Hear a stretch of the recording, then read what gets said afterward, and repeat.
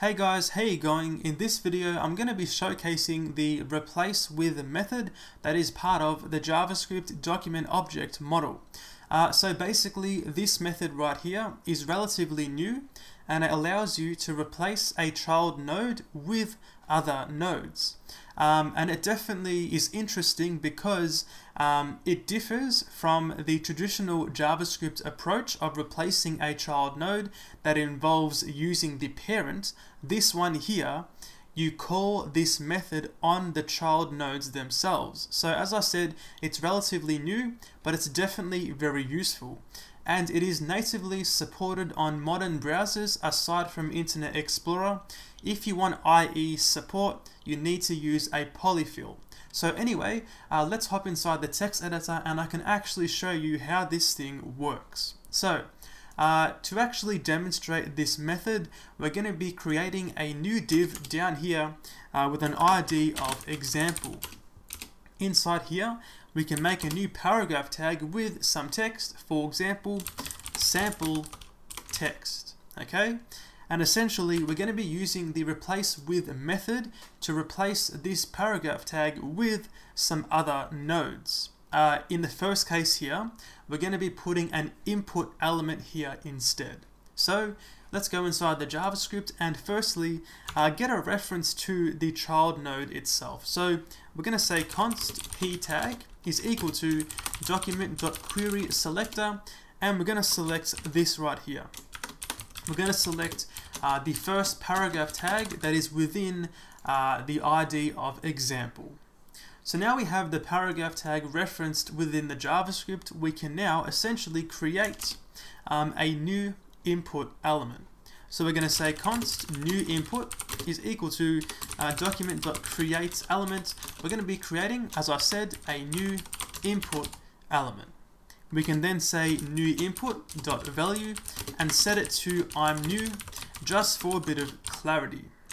So then down here, we can call the replace with method on the paragraph tag itself. So we can say p tag, uh, sorry, uh, p tag dot replace with, and we're going to pass in here the new input. This is saying we're going to get rid of this paragraph tag right here, okay, and we're going to replace it with this uh, input tag. Okay, so now I'm going to save this and refresh the page, uh, refresh the browser, um, and we can see here we've got the input right there. Okay, if I was to go back and just remove this line, save this and refresh, it is now of course the paragraph tag. So as we can see, uh, calling it directly on the actual child node itself can definitely come in handy. You don't need to know about the parent element in order to replace it. Now this thing also supports multiple arguments. So this means I can go down here and make something like a new button and say document.create element and we can create um, just a new button so create element right here, button. Then we can say new button dot text content is equal to me too. Okay. Then we can say new input, comma, a second argument here, and say new btn. Save this and refresh and now of course we get the input and the button itself. So once again, uh, definitely very useful. Now, if you want to actually um, append or uh, replace an element or a node, sorry, with some text, this is quite easy also. So obviously you can uh, you can simply create a new text node and then append that to the actual uh, argument list but you can even just pass in a regular string just like this okay? So for example and I am some text okay? And this right here the method is going to take this string, it's going to convert it into a text node for you, and then uh, obviously add that to the actual uh, DOM. So I'm going to save this here and refresh once again, and we get and I am some text. Okay, so once again, uh, very useful.